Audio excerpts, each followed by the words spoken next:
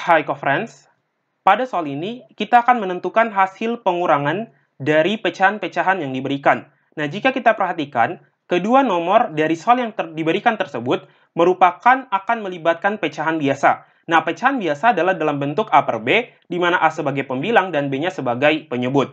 Nah, kita akan lihat untuk soal nomor 1, yakni 25 per 33 dikurang 18 per 33 dikurang 6 per 33. Nah, sebelum kita melakukan operasi pengurangan, maka terlebih dahulu kita harus memastikan apakah penyebut dari ketiga pecahan yang akan kita kurangkan tersebut telah sama. Nah, jika kita perhatikan di sini penyebutnya yakni sama-sama 33. Nah, karena penyebutnya telah sama 33, maka kita langsung dapat melakukan operasi pengurangan, di mana yang akan kita lakukan operasi pengurangan hanya pada bagian pembilangnya, sedangkan penyebutnya tetap sama, yakni 33. Sehingga untuk 25 per 33 dikurang 18 per 33 dikurang 6 per 33 adalah 25 dikurang 18 dikurang 6 per 33. Nah, 25 dikurang 18 hasilnya adalah 7. Maka 7 dikurang 6 per 33 yakni sama dengan 1 per 33. Sehingga jawaban untuk soal nomor 1 adalah 1 per 33. Nah, dengan cara yang sama, maka untuk soal nomor 2,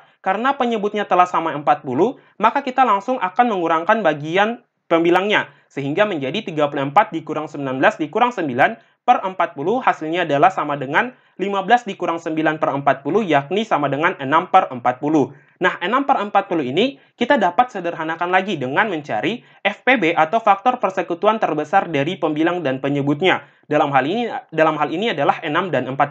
Nah, untuk menentukan FPB-nya, kita akan gunakan cara tabel di mana kita akan membagi 6 dan 40 dengan faktor prima, yang mana kita akan mulai dari faktor prima yang paling kecil. Di sini kita akan mulai dari 2. 6 dibagi 2 hasilnya adalah 3, dan 40 dibagi 2 hasilnya adalah 20. Selanjutnya kita akan bagi lagi dengan 2. 3 dibagi 2 hasilnya adalah bilangan desimal. Dengan kata lain, 3 tidak habis dibagi oleh 2, sehingga kita tetap tuliskan 3. 20 dibagi 2 hasilnya adalah 10.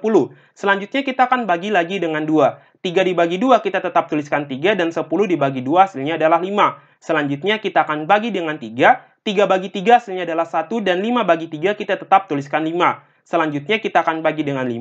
1 dibagi 5 kita tetap tuliskan 1 dan 5 dibagi 5 hasilnya adalah 1. Nah, karena hasil akhir kita telah peroleh 1, 1, maka kita langsung dapat menentukan FPB-nya dengan cara cukup melihat faktor prima mana yang dapat membagi habis kedua bilangan tersebut. Nah, jika kita perhatikan, maka faktor prima yang dapat membagi habis kedua bilangan tersebut adalah 2. Sehingga di sini kita peroleh FPB-nya adalah sama dengan 2. Nah, karena FPB-nya adalah sama dengan 2, maka pada pembilang dan penyebut dari 6 per 40 kita akan bagi dengan 2. Sehingga di sini kita peroleh sama dengan 6 dibagi 2 per 40 dibagi 2, yakni sama dengan 3 per 20, yang merupakan jawaban untuk soal nomor 2. Nah, mudah kan, kok, friends? Kita sudah selesai mengerjakan soalnya. Tetap semangat belajarnya ya, kok, friends.